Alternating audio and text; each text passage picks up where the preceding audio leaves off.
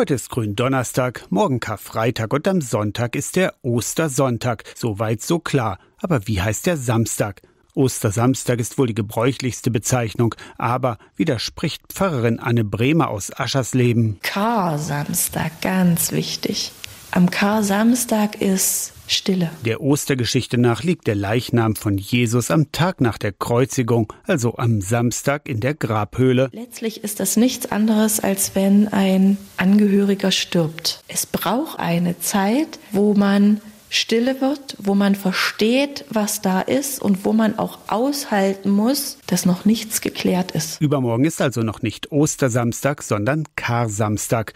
Fragt bei Verabredungen sicherheitshalber genau nach. Sonst, sagt Tobias Krüger, Pfarrer in Gardelegen. Dann kommen wir eine Woche zu spät oder die eine Woche zu früh, ganz genau. Und das ist das einzige Mal im Jahr, wenn ich Samstag zum Sonnabend sage, weil Kar-Sonnabend habe ich auch noch nicht gehört. Ich sage sonst immer Sonnabend, ja, außer am Kar-Samstag. Heißt genau genommen also auch frohe Ostern keinesfalls vor Ostersonntag wünschen. Ach was, findet Pfarrer Krüger. Ich glaube, die Zeit der Puristen ist vorbei. Wem hilft das nur wirklich weiter? Es ist so viel im Fluss. Normalerweise würde man sagen, am Ostersonntagmorgen pro Ostern. Aber wenn man sich die Woche über nicht sieht, kann man es auch schon in der Karwoche sagen. Gesegnetes Osterfest, vor Ostern. Aber mit Ostersonntag geht's eben so richtig los. Mit dem Osterfest. Aus der Kirchenredaktion Torsten Kessler, Radio SAW.